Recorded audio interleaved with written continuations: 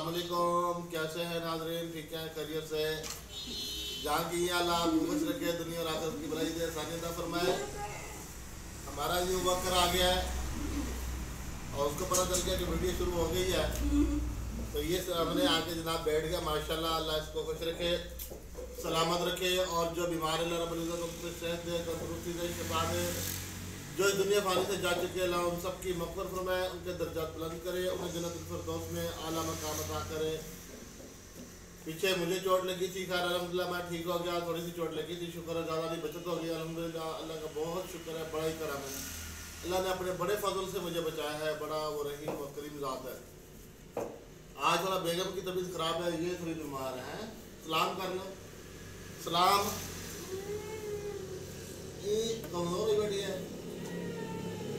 दाढ़ों को दर्द है का ना हड़ों हम तो बोलते हैं हड़े, यानी दाढ़ों को दर्द है।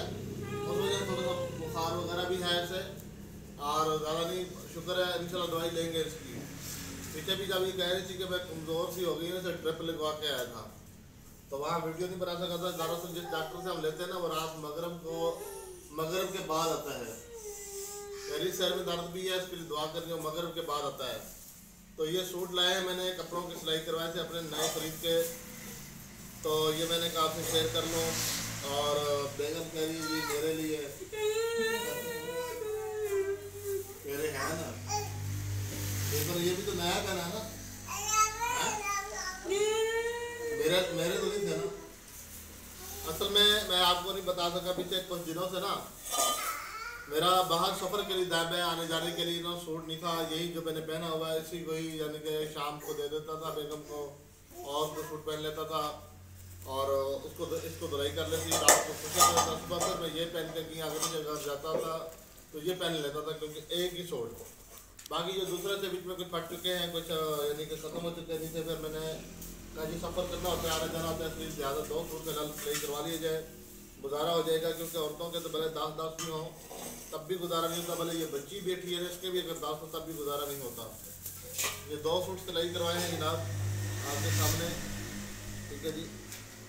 और ये माशाल्लाह शादी सिलाई है, अल्हम्दुलिल्लाह, अल्लाह का बड़ा फजल, उसका बड़ा ही करम है। उधर अब इजाज़त लेते बाय बाय करो। तो बहुत शुक्रिया आपके तावन का खलूस का, आपकी मोहब्बत का। हम इजाज़त चाहते हैं, फिर किसी और वीडियो के साथ दोबारा मुलाकात करेंगे। बहुत शुक्रिया दुआ में याद रखना। हमारी फातिमा जो है ना, वो सुहा निकाल रही है, जो लकड़ी का खाका होता है, जलने के बाद। वो निकाल रही है नई लकड़ी मिलानी आटा भुना जा चुका है और मिक्स अब हम ज़्यादा चाहते हैं। तो किसी और वीडियो के साथ मुलाकात करेंगे। बहुत शुक्रिया बहुत शुक्रिया।